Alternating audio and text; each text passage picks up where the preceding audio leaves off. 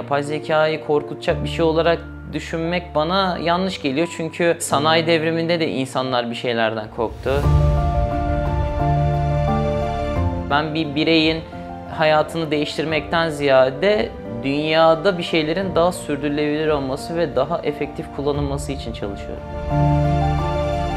Para kazanmayı bir araç olarak, öğrenmeyi de bir amaç olarak ilerlerse bu alandaki kişiler o zaman Türkiye'nin de teknoloji dünyasında önce olabileceğine inanıyorum.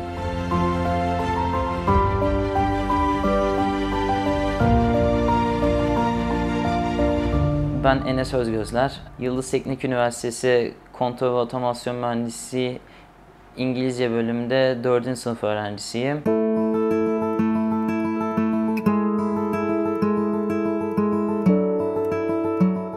Bilgisayar mühendisi alanında çalışmalar yapıyorum ve özellikle yapay zeka alanına. Şu an aktif olarak geliştirdiğim bir projem var. Ee, onun dışında e, hobi olarak e, yüzmeyi ve basketbol oynamayı seviyorum. Büyüdüğüm aile güzeldi, sıcak bir aileydi. İki tane kardeşim var. Birisi üniversite ikinci sınıfta, diğeri de dördüncü sınıfta. Mahalle hayatı diye bir şey yaşamadım. Ben ya ben bilgisayar başındaydım devamlı. Yaklaşık 4-5 yaşımdan itibaren bilgisayar başındayım. Yani oyun oynayarak başladım klasik bu sürece her çocuk gibi. Sonrasında bilgisayara olan ilgi arttıkça farklı farklı şeyler yapmaya başladım. Bilgisayar üzerinde bir şeyler oluşturmaya. Sonrasında kodlamaya merak saldım. Üniversite hayatında da bunu daha da geliştirip yapay zeka üzerine çalışmalar yaparak bilgisayara olan merakımı gitgide daha da geliştirmeye çalışıyorum aslında.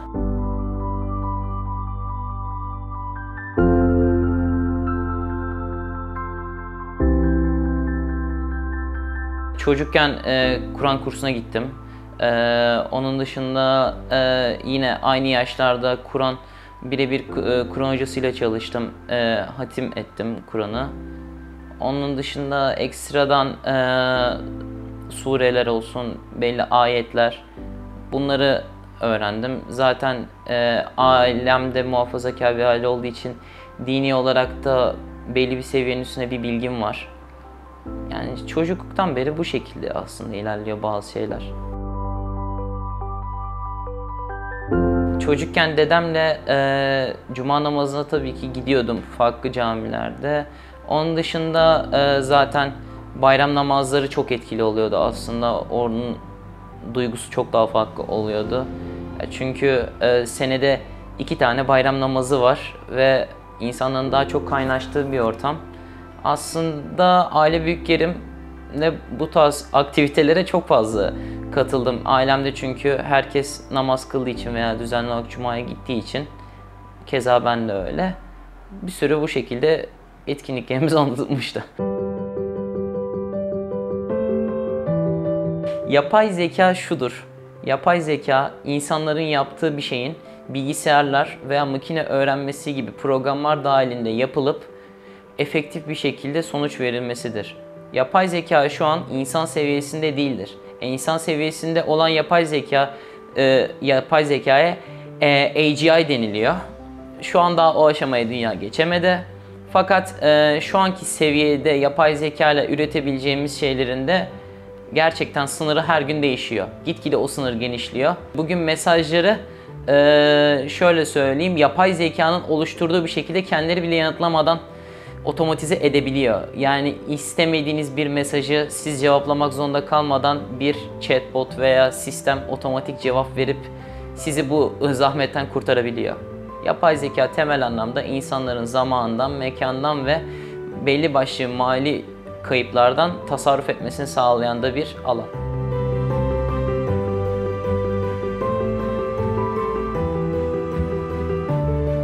Benim daha önce seçeceğim zamanda bölümümü bu kadar fazla trend yoktu açıkçası bilgisayara yapay zeka yazılıma. Ağırlık olarak herkes tıp tarzı bölümler seçiyor. Tıp, diş veya sağlık sektörüne dair bölümler. E ben o zamandan beri e, bu alanda ilerlemek istiyorum. Yani sadece trendi takip etmek değil. Tabii ki trendler önemli. İnsanların e, beklentilerini trendler karşılıyor şu an. Ama e, benim beklentilerimi trendlerden ziyade kendi isteklerim yönlendiriyor.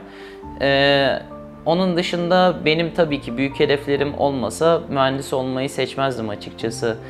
Daha e, rahat e, okuyabileceğim bir meslek veya daha garanti bir meslek seçerdim. Çünkü girişimcilik ruhumu da öldürmek istemiyorum.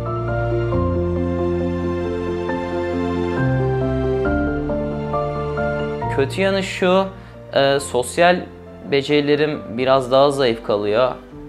O benim daha fazla teknik yeterliliklerimi arttırmamdan kaynaklı da olabilir.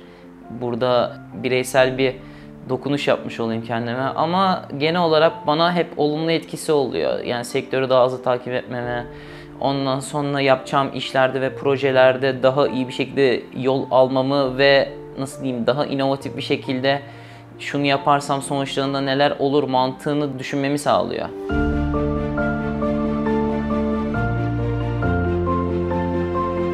Yani bunu yapmasaydım, yani bugün şu an yapay zeka diye bir şey olmasa, yazılım diye bir dil olmasa, özellikle bilgisayar mühendisliğinin çözdüğü sorunların çoğu olmasa ne yapabilirim diye düşünüyorum.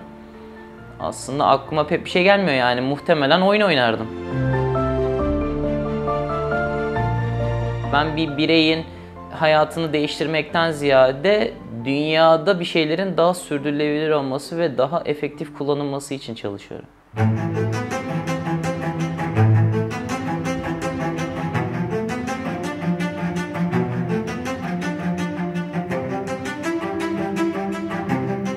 Ben şuna inanıyorum.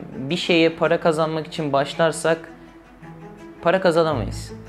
Ben de para kazanmak için hiç bu alana girmedim açıkçası. Bu alanda bir şeyleri öğrendikçe zaten insan bir şeyler yapabileceğine farkına varıyor. Önceliğim tabii ki bir şeyler başarabilmek.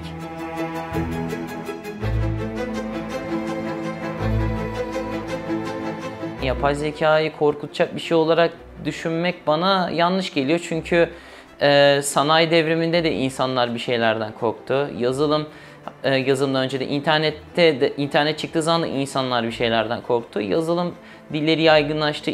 Dünyada bir yazılım füryası olduğu zaman da insanlar bir şeylerden korktu. Yani korkan kesim hep aynı. Ama korkma sebepleri her zaman bizim işimiz elimizden gidecek mi veya bize de dokunacak mı ucu oluyor. Buradaki olay şu, dünya bir şekilde gelişiyorsa insanlar da gelişmek zorunda. Yani e, buna e, yani doğal seleksiyona adapte olmalıyız. Yani adapte olamayanlar, zayıf olanlar maalesef eleniyor. Yani korkacak kişiler bence herhangi bir reaksiyon almayan kişiler olmalı burada. Özellikle bir çabası olan ve kendini düzenli geliştirmeye çalışan insanların mesleğini yapay zekanın elinden alması gibi bir şey şimdilik pek söz konusu değil.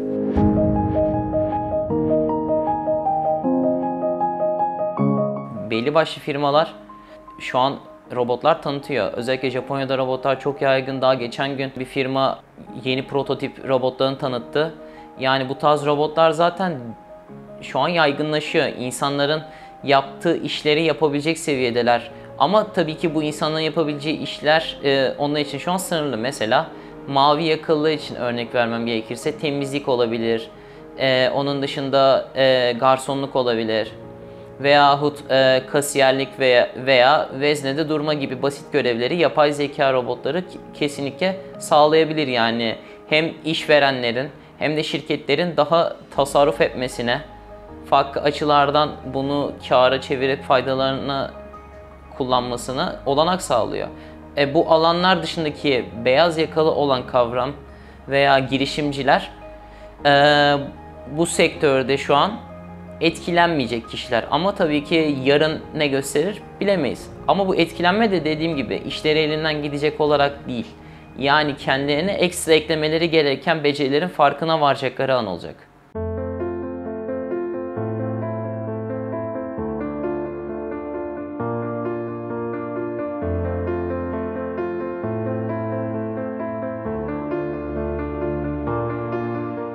İnsanlar birbirinin yaptığı şeyleri kopyalayarak veya başkasının yaptığı şeyi ufak bir dokunuş yaparak kendi ürünüymüş gibi çıkartabiliyor. Hatta şöyle başka bir örnek vereyim. Ee, biz e, geçen sene e, bir kurumla hatta kurum değil bir startupla görüşmüştük. E, yaptığımız ilk e, tercih sistemiyle alakalı. Sonrasında iki taraf ilerlememeye karar verdik e, ve biz kendimiz bu süreci devam ettirmeye çalıştık. Karşı tarafın e, verebileceği şey beklent ya beklentimizi karşılamayacağını düşündüğümüzden bir de üsluplarından dolayı bu yöntem yolu seçmiştik. Fakat e, karşı taraf mesela bu fikir kendilerine ait olmamasına rağmen bu sene e, aynı fikirle sırf çıkartmak adına mesela kötü bir ürünü piyasaya sürdü. Yani bunlar çok olası şeyler. Ya ürünü sürmesi sorun değil. Yani çünkü o esnada biz onu yapamadık. Yani sürmüş olabilir. Ama en azından yani ürünün e, kendi ürün olmadıklarının farkındalar. Bir de burada önemli olan kriter kendi ürünleri olmasa bile güzel bir şekilde çıkartabilmek. Yani e, ya wrapping yapmış olabilir, bir yerden bir kaynağı almış olabilir ya da bir open source projeyi kopyalamış olabilir. Ya da birisinden yardım almıştır, kendilerinin e, emeği yoktur. Ya bu tarz şeyler olabilir, çok normal ama e, buradaki sonuçta çıkartıyorsam bir şeyi en azından iyi olmalı ki bari böyle bir şey yaptım. En azından çıkarttım ürün iyi şeklinde kendini savunması savunabilmeli yani. Ya benim karşılaştığım kişiler bunu da yapamadığı için bunlar biraz can sıkıcı olabiliyor sektörde.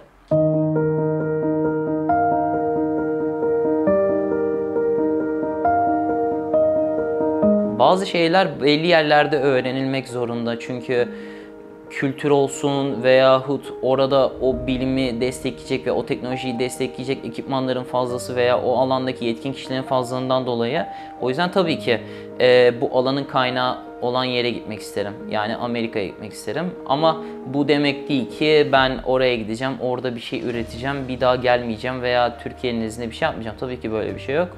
Ya ben e, ürettiğim şeyin zaten tek bir ülke veya tek bir konum için değil, genel olarak dünyada herkesin kullanabilmesini istiyorum aslında. Yani benim çıkarttığım bir... Ya çünkü şöyle, buradaki aslında mutluluk bence şu, ben burada bir şey çıkartıyorsam buna e, farklı bir yarım küredeki adam da ulaşabilmeli.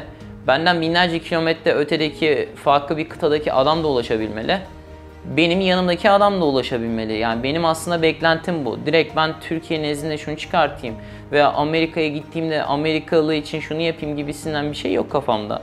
Sosyal medya platformları şu an gayet globaller ve dünyanın her kesiminden insana hizmet veriyorlar. Onun dışında yapay zeka ile ilgili uygulamalar da keza aynı özelliğe sahip neredeyse. Ee, ve gitgide ülkeler e, daha fazla ülkeye hizmet sunmaya çalışıyorlar. Ya benim de buradaki beklentim Türkiye nezdinde bir şey çıkarmak değil açıkçası. Herkesin kullanabilmesi.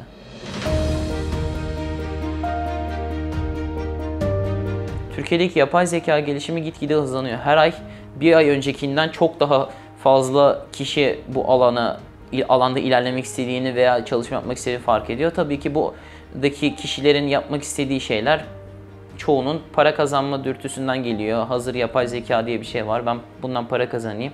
Ama ya ben bunu açıkça söylemem gerekirse o kişi şekilde düşünen herkes sonunda yapay zeka sektörünü bırakıp farklı sektöre geçecek.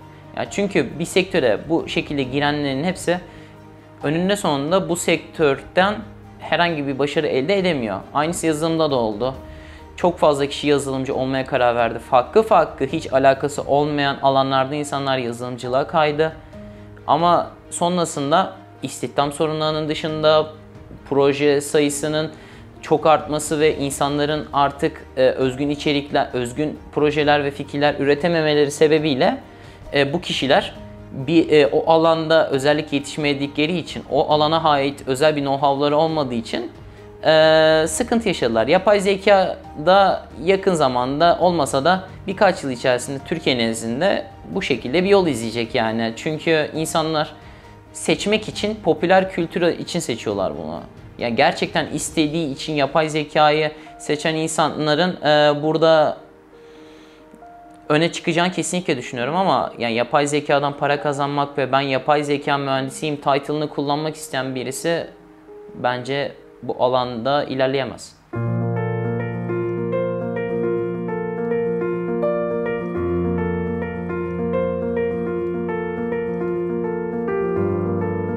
Prompt engineering diye de bir kavram türedi. çoğu kişi mesela mühendislik bitirmeden içinde engineering var diye ve yapay zekanın konuşma biçimlerini yönlendirebilecek belli başlı e, stilleri öğrendikten sonra bu alanda yetkin olduklarını düşünürler ve yapay zeka mühendisi veya bilgisayar mühendisiymiş gibi davranmaya çalışırlar. Bu da bir yanılgı. Yani çoğu kişi e, bu şekilde daha az emek harcayarak çok para kazanabileceğini ve yapay zeka sektörünün içinde olduğunu düşünüyor. Bu sadece her sektördeki kişinin aslında sadece bir bilgisayar mühendisinin veya sadece bir elektrik elektronik mühendisini veya yazılım mühendisini ya da yapay zeka mühendisinin öğrenmesi gereken bir şey değil. Yani bir psikoloğun da bir e, iktisatçının da bir e, hukukçunun da bilmesi gereken bir şey. Çünkü e, doküman oluşturmak bütün mesleklerde var. İnsan dokümanı oluştururken karşı tarafa en iyi şekilde anlatabilmek ister, açıklamak ister.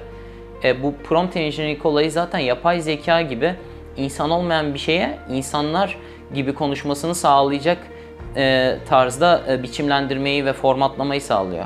E, bunu bir insan kendi lehine çok rahat çevirebilir gündelik hayatlarında da. O yüzden ben bunu bir beceri olarak düşünüyorum. Çalışacak ve para kazanacak bir alan olarak düşünmüyorum.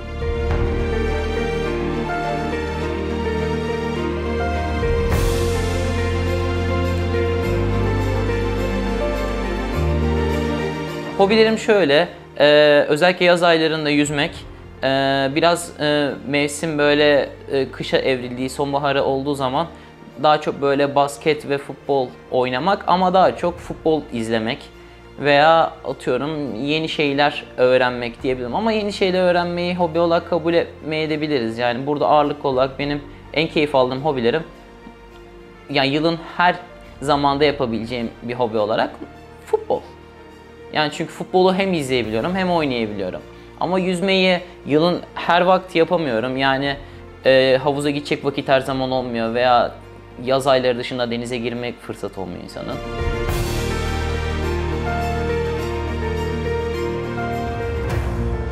Hobilerime zaman bulabiliyorum çünkü e, yani burada ya insan uykudan veya boş harcadığı vakitten tasarruf edecek ya da hobilerinden e, feragat edecek.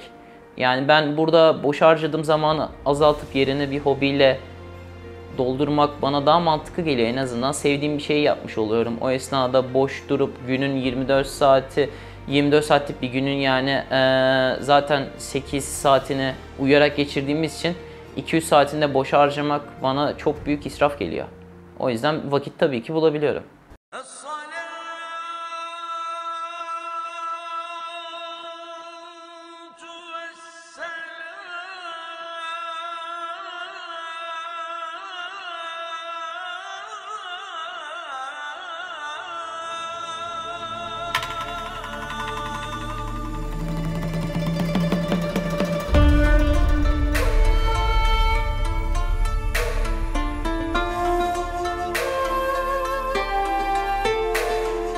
Benim haftanın en sevdiğim günü cuma günü.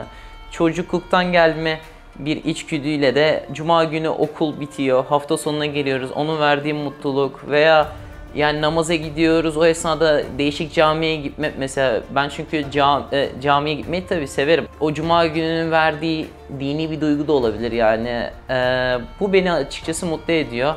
Yani cuma günü deyince yani sıfırdan taze başlangıç yeni bir hafta bitmiş, dinlenmek için bir süre ayrılmış ve taze başlangıca hazırlanacak bir zaman dilimi olarak düşünüyorum ben.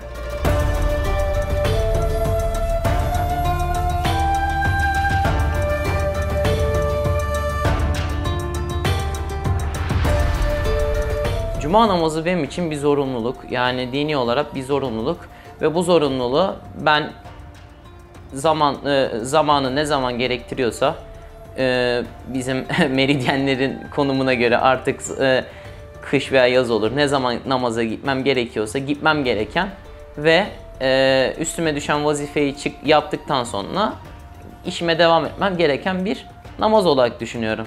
Ya hiçbir şekilde e, bu hafta gitmem diyebileceğim bir namaz türü değil. Değerli kardeşlerim, Yüce Kur'an-ı Kerim'de şöyle buyuruyor.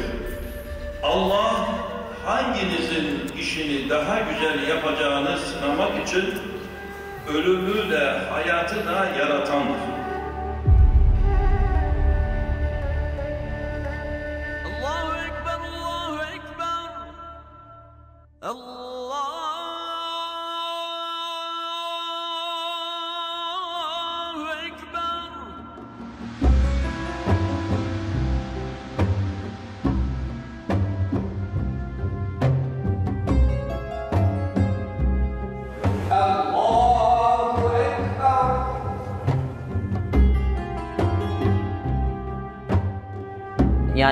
Şeyleri başarmış olduğum için ve şunu hissettiriyor Cuma namazı bana. Cuma namazı bittikten sonra tamam Cuma günü benim üstüme düşen en büyük sorumluluğu ben yaptım. Artık şu an istediğim başka bir şey yapabilirim.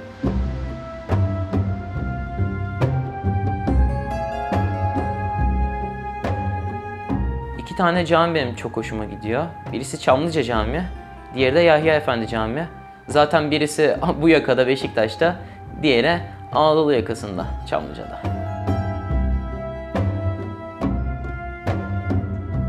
Büyüklüğü, ferahlığı, içinin gü- güzelliği, manzarası mesela Yahya Efendi denizi gören, bo- e, Boğaz'ın koruyucusu kendisi dini olarak da Boğaz'ın bu yakasının koruyucularından E, ve güzel bir e, cami bana güzel şeyler hissettiriyor. E, Çamlıca Camii'de sonradan açılmış ama çok güzel bir şekilde mimarisi olan, e, insanları rahatlatabilecek ferah bir alanı olan, dingin duygu, e, dinginleştirecek duygular verecek e, bir cami. Ha buna ekstra ola ben Fatih'te doğup büyüdüğüm için Fatih Camisi'ni de verebilirim. O da Fatih Sultan Mehmet'ten dolayı e, hem e, Fatih Sultan Mehmet Fatih Camii'ne çok önem verdiği için hem de Fatih Camisi dini olarak da önemli bir yer e, edinmiş. Ayrıca dini ola- oları dini kısmında geçtim. Kültür açısından da önemli. Osmanlı'dan kalma bir kültür. Onun mimari dokunuşlarını yansıtıyor. O yüzden bu üç cami benim için en güzel cami diyebilirim.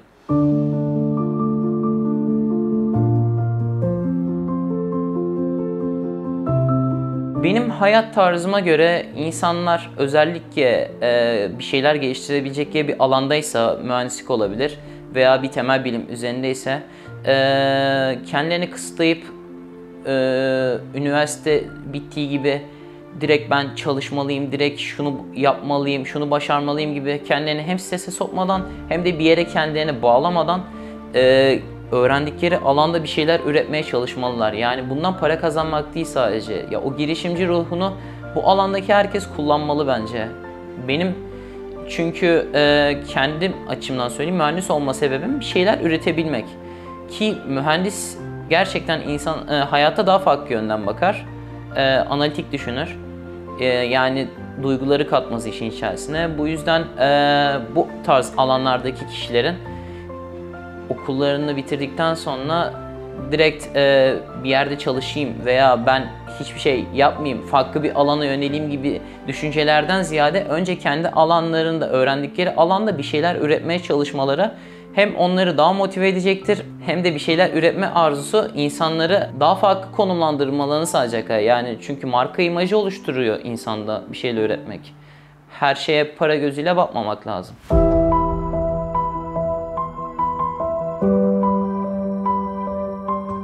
para kazanmayı bir araç olarak, öğrenmeyi de bir amaç olarak ilerlerse bu alandaki kişiler, o zaman Türkiye'nin de çok daha fazla kaliteli ve nitelikli startup olup e, teknoloji dünyasında önce olabileceğine inanıyorum.